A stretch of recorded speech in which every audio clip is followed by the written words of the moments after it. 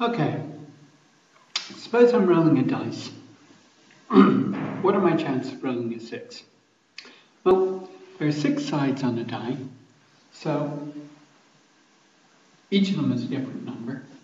So it seems to make sense that the chances of rolling a 6 are just 1 over 6.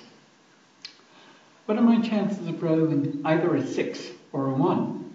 Well, again, there are two ways we can make. So we've got the sixth plus a sixth. So that equals a third. So there are two possible ways that I can make it. So I can either roll a 1 or a 6. So there's a third chance that I'll roll, roll either of them. Okay? The next problem is suppose I have two dice. What's the chances that the combined value of the two dice come to 6?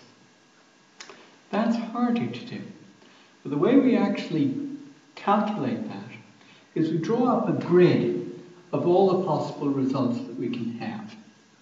So this is going to be 1, 2, 3, 4, 5, sorry, 5, six, and then one, two, three, four, five, six.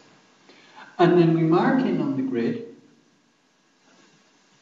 the numbers we get by combining the two numbers at the side. So 1 plus 1 would give me a 2.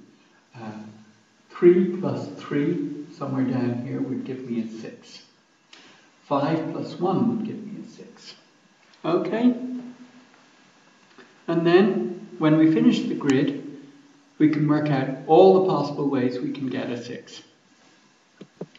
Okay, I've now filled in on the grid all the possible ways we can get a 6. We can get a 6 by 5 plus 1, 4 plus 2, 3 plus 3, 4 plus 2, 1 plus 5, and that's all the ways. There's no other combination of numbers we can roll on the dice which will give us 6. So now it's just a matter of counting up the number of ways we can make a 6, which is 1, 2, 3, 4, 5. So we can make, we've got 5 ways of making a 6.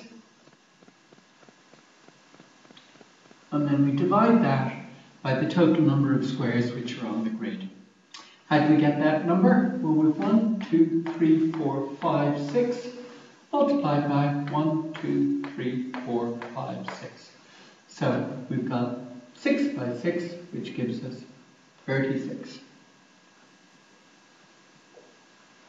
So it's 5 out of 36 are our chances of rolling a 6.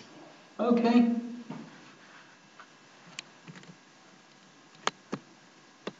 This basically leads to an important